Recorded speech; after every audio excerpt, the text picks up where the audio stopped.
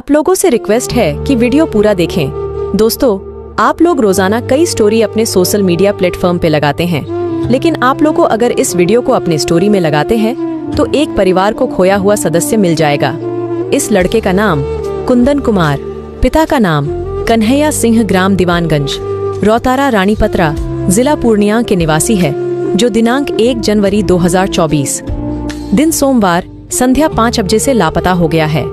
आप सभी से निवेदन है कि जिस किसी को भी यह आदमी दिखाई दे या इसकी कोई जानकारी मिले, कृपया नीचे दिए गए नंबर पर संपर्क करें। और जो व्यक्ति इन्हें दीवानगंज ओवर ब्रिज के पास लेकर आएगा, उसे उचित इनाम दिया जाएगा।